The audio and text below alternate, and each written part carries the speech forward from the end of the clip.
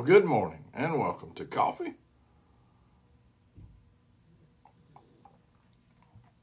and Devotion with Pastor Mike. Today is June the 8th.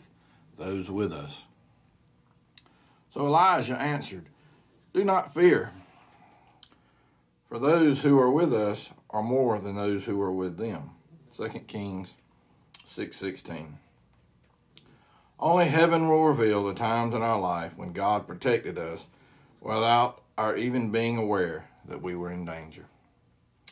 An example of this is seen when Moses led the Hebrew slaves out of Egypt and took them deep into the Sinai desert instead of directly to the promised land of Canaan.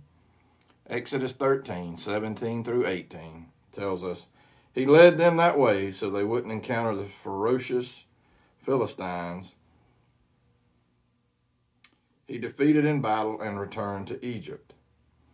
We wonder if they ever realized just how many times God protected them. When the Syrian army was poised to attack Israel, Elisha's servant was rightly concerned. When he asked the prophet what they should do, Elijah told him that they were an army larger than the Syrian army on their side.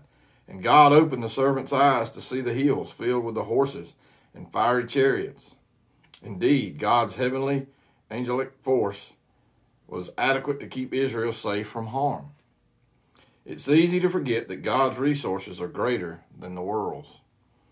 If you're facing a situation today which you feel outnumbered or under resourced, don't despair. Heaven's resources are yours, whether visible or not. Peace and blessings.